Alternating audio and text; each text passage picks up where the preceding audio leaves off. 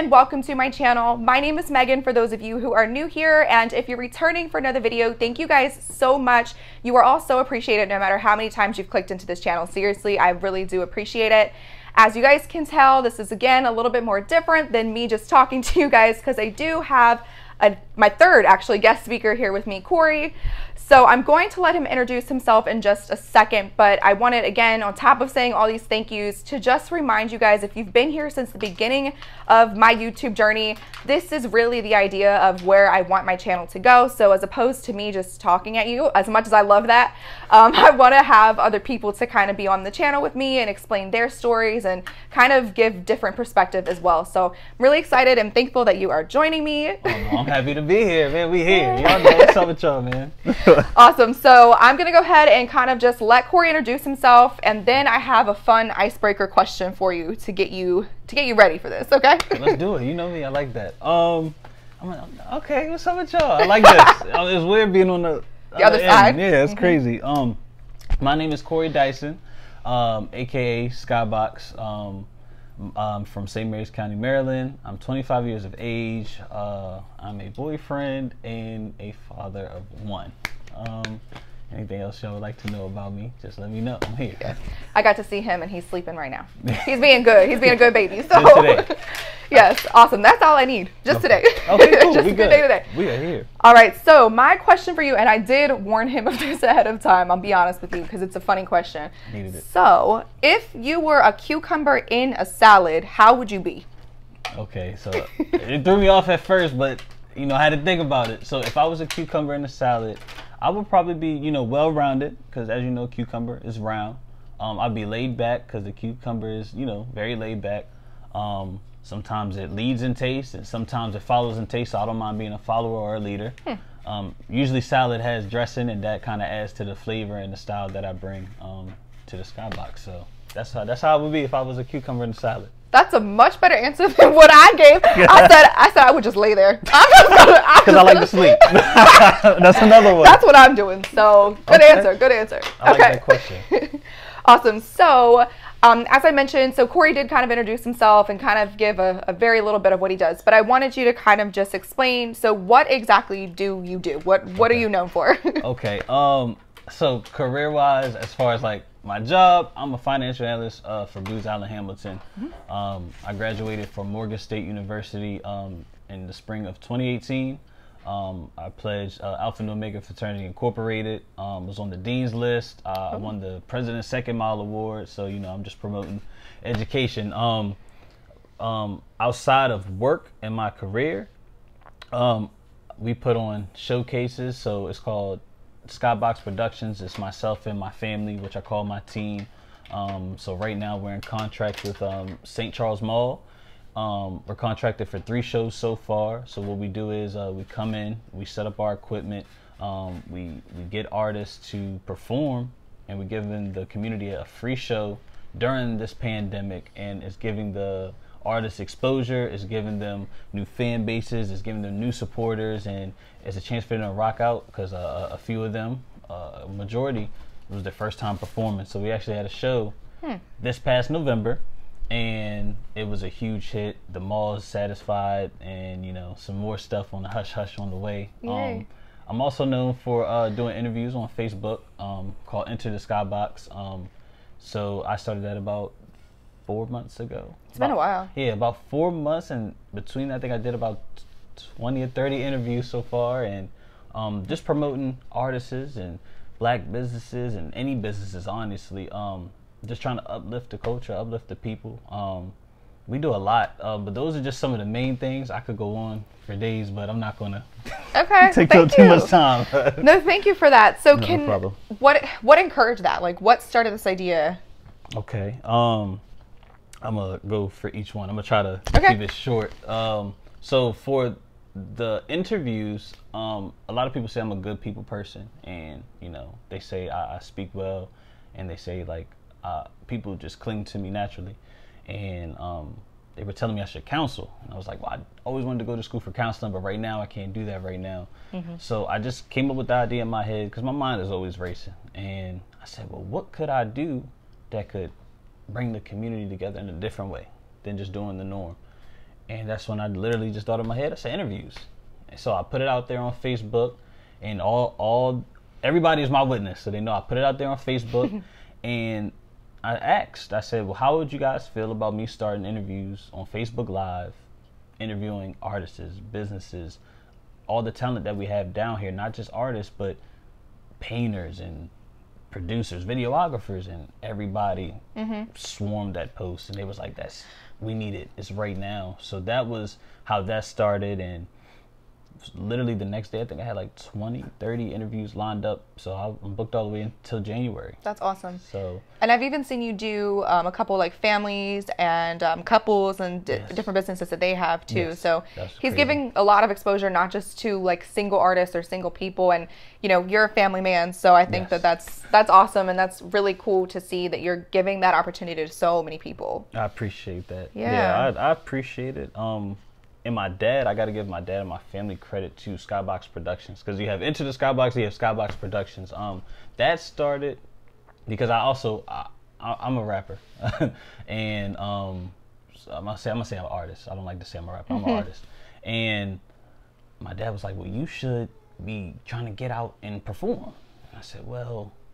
You know, I'm in a business mindset. I'm not in the mood to perform right now, but what I love to, of course. And he was like, "Well, what do you think about the mall?" And I was like, the mall's cool, you know. So he started talking to the mall. They said, you're in. Like, that's awesome. You know, we of course it's a process. It wasn't that easy, but overall you're in. And I was like, well, hold on, let's open it up to everybody because me trying to perform for four hours, mm-hmm. I'm not gonna do it. Right. My catalog is not that big. I'm gonna be honest. And that's when I, you know, started putting out there, and the first showcase had about seven, eight different artists, and it was a huge success. So I give my credit to my family for backing me, honestly. That's amazing. Yes, ma'am.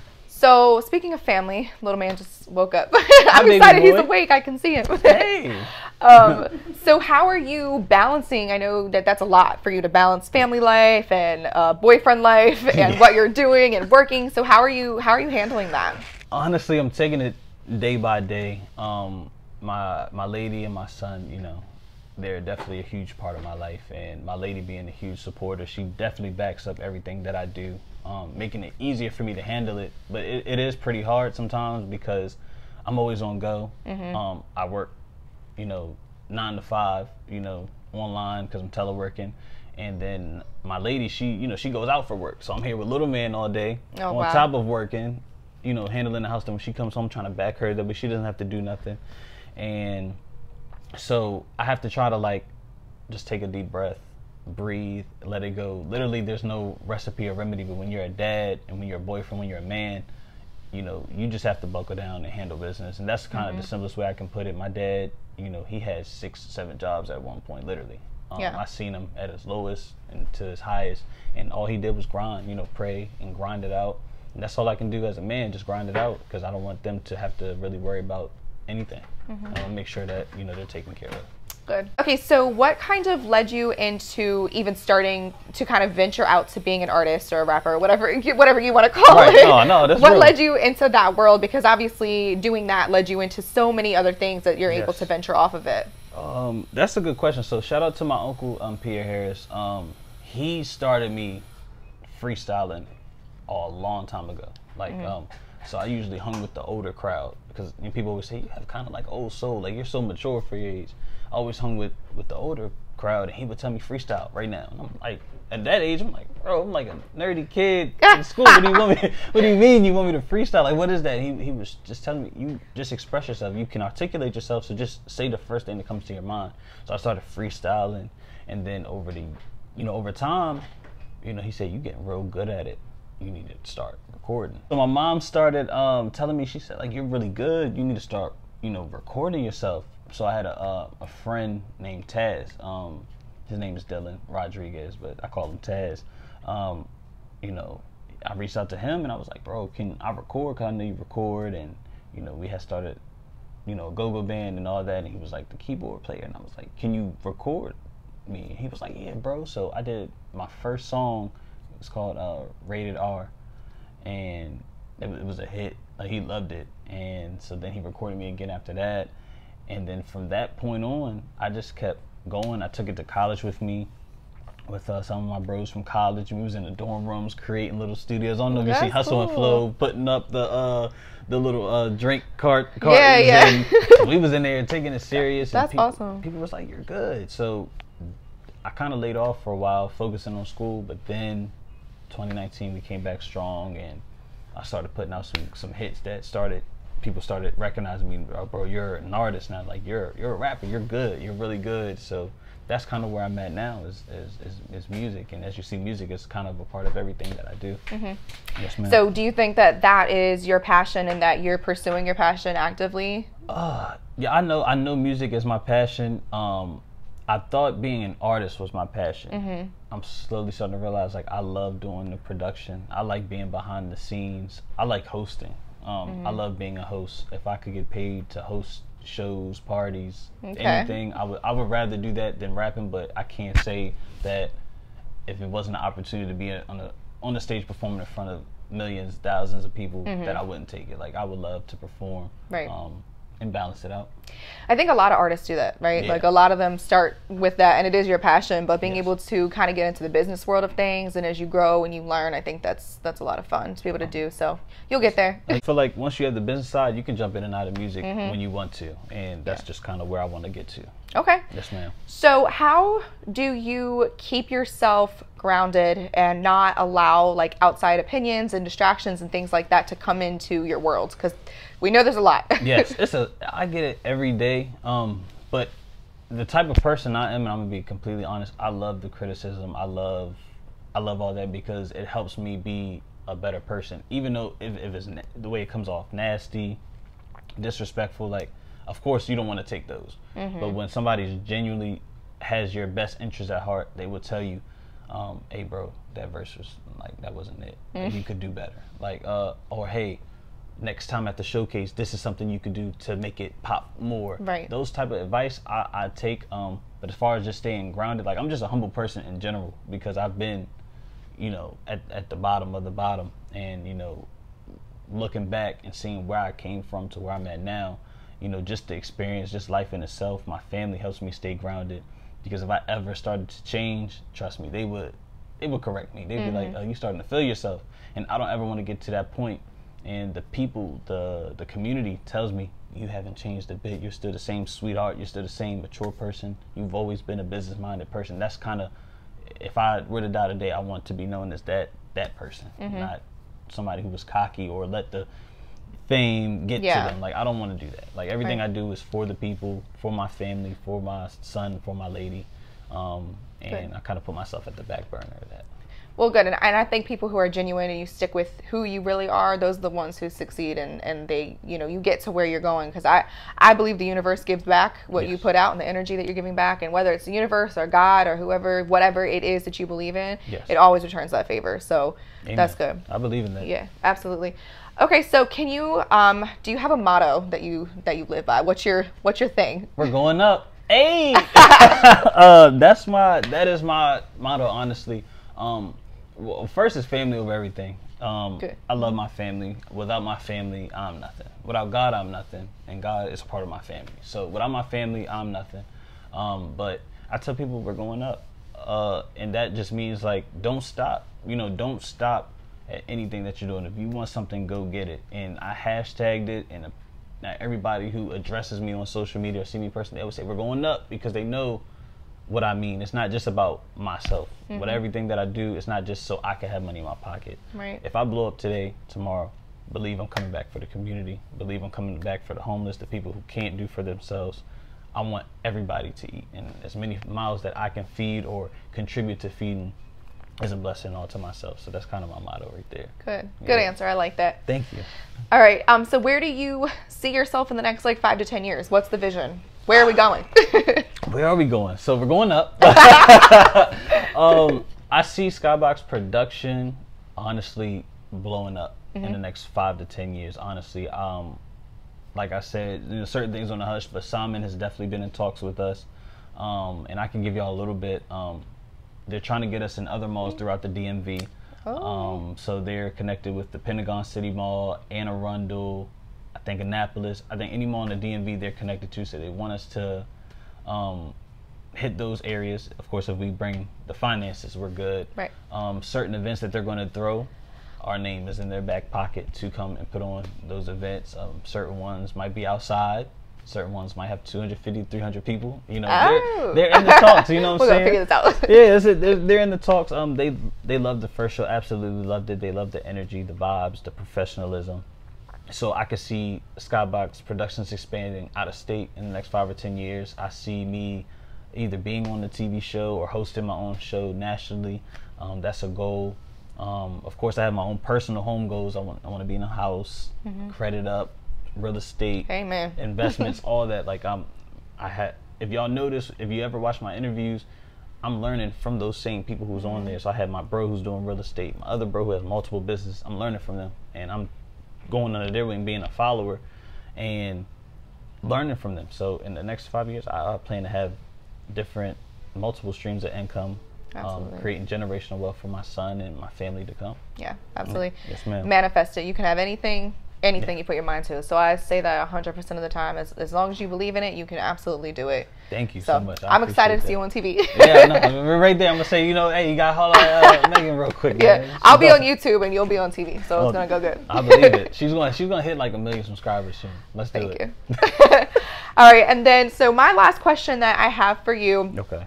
Um, is just can you what message do you want to give to people who are watching give to people who do look up to you what what do you want to share like what's your i guess ultimate goal or message that you want to give Um, the ultimate goal is everything that you do, just do it out of love, and do it for the benefit of somebody else. And I know you're probably like, well, why? Why would I do that?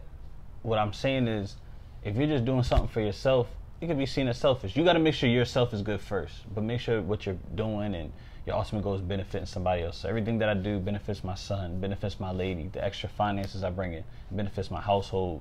Um, the things I do for the community, it benefits the community.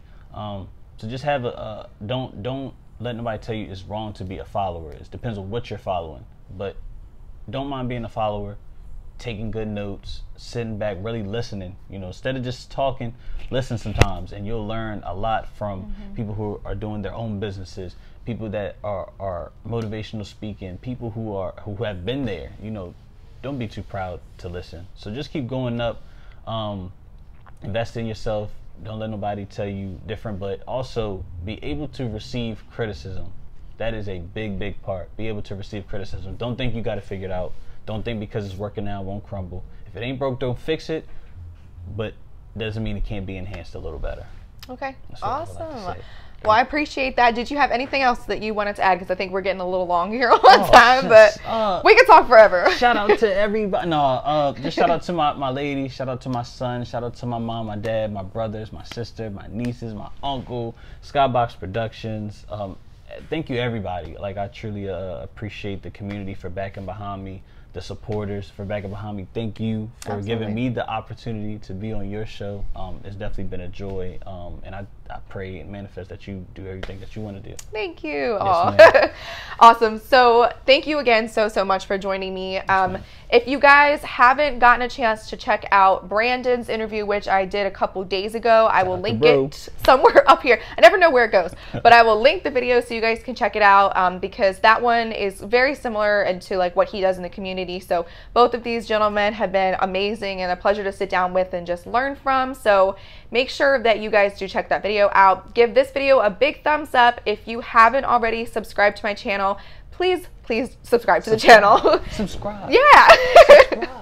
you don't want to miss future videos. So again, like I said in the beginning, most of my videos are going to be like this one where you guys are going to get to hear from so many other people. So it's not going to be just me, I promise. Um, so make sure you subscribe, give it a big thumbs up. And more than anything, remember that you guys are so loved. You are so appreciated. You matter very, very, very deeply to this world. I see you. I hear you. I love you guys. And I will talk to you guys next time. Okay. okay. Look, that's, that's how I do. I'll be like this. I gotta get ready, you know. All right, Okay.